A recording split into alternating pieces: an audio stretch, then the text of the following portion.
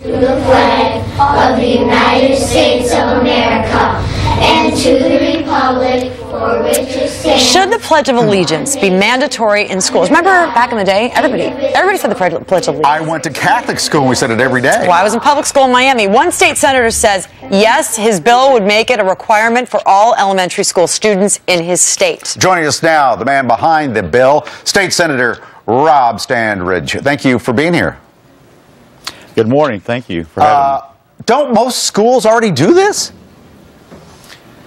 Yes, I, I believe that most do, uh, but I feel like uh, with the tone in the nation and the way things are going, that I think it should be up to parents to decide and not uh, teachers in schools whether where the kids say the Pledge of Allegiance or not. Elaborate on that a little bit. The tone of the nation. You know, there has been there has been criticism about the Pledge of Allegiance because of the God reference and you know the separation of church and state. Why do you feel that it's necessary to have this as part of the the curriculum, the, the lexicon of, uh, of America's schools today?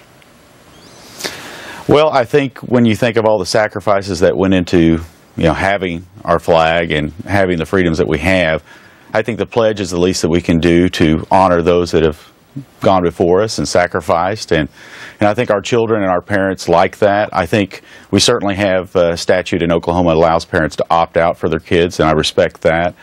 Uh, but I think that uh, that decision should be up to parents and children, not schools and principals and you know teachers. Uh, I have utmost respect for them as well, but I think that the students and the parents should make that decision.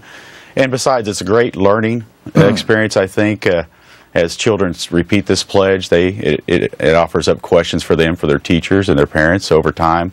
Maybe they begin to realize that what into what went into being able to say that pledge. With liberty and justice for all, you I think you're absolutely right. You hit on it there. It creates discussion, right? Yes, I think it does. For I mean, eventually, I think that starts resonates resonating, and the children ask their parents about it, ask their teachers about it, and and uh, and I think our, our veterans and our fighting men and women really appreciate the idea of our children understanding uh, the sacrifices that went into the liberty and justice, Right. and the indivisible uh, portion of that. Yes. And Senator, you, you've, you've made the argument that the parents don't, ha- the kids don't have to be forced to say this. The parents can say to the school, our it. children are going to opt out, correct? That that is correct. In fact, I was in a student uh, school recently, not on this topic, but a different one, and one of the children. Uh, obviously, the parents had requested that they don't appear in any photographs. So the teacher was very um, did a very good job of making sure the child didn't appear in the photograph. So it's it's it's not it's not isolating children. The schools handle this very well, and uh, and a lot of schools obviously say the pledge, and so the children that opt out in that case Right. certainly can opt out already. So I think though that this is a parent decision, not a school and teacher decision. Senator, So keep when us you say updated. man, Well, when you say mandate, Yeah. yeah. Oklahoma, Yeah. playing Yeah. Missouri.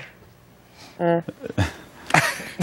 Sorry, Senator. I'm sorry. Kidding. She went to Football. Mizzou. All right, thanks for joining us today. We appreciate it. Boomer All sooner. right, thank you. Mm-hmm.